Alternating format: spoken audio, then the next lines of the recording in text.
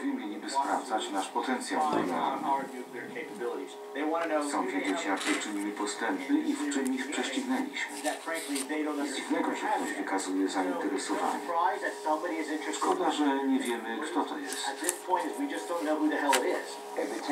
Potencjalny przeciwnik mógłby zniszczyć nasze zasoby nuklearne, by zyskać przewagę w razie ewentualnego konfliktu. to poznać swoje słabości. Za chwilę światła nas otoczyły, to było przerażające. 30 lat później nadal wyraźnie czuję tamte emocje.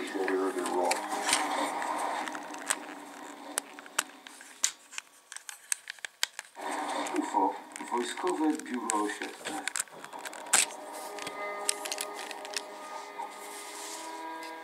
tree Nad drzewami pojawia się ogromne UFO. huge UFO. Elizondo omawia relację Marceau z byłym zastępcą asystenta sekretarza obrony Chrisem Melonem. W lesie zapadła zupełna cisza. Zupełna. Zgłosił to przełożonym, ale follow-up interviews? Został przesłuchany przez kontrwywiad lub inne służby? Nie. Takie raporty należy zbadać w niezależny sposób. Obiekty, które są własnością Departamentu Energii, mogą posiadać raporty, które nie ujrzały jeszcze światła dziennego. to, była początkowa faza programu nuklearnego. Notatki z incydentów na pewno dotarły do dowództwa. Notatki służbowe i oficjalne raporty nie zostały ujawnione. By lepiej poznać związek między UFO i potencjałem nuklearnym, Elizondo szuka nowych świadków. Ten wojskowy specjalista do spraw bezpieczeństwa chce pozostać anonimowy. Stacjonowałem w bazie Warren w latach 1987-91.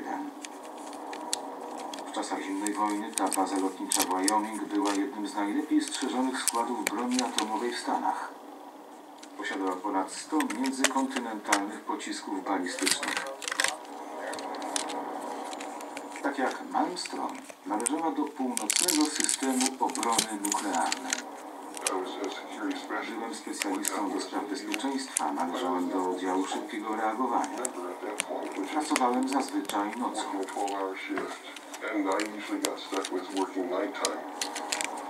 Był czerwiec 1988 roku. Właśnie zaczęliśmy zmianę.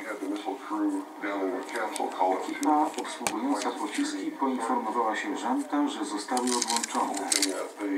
To zdarza się bardzo rzadko. Podczas mojej pracy w bazie zdarzyło mi się to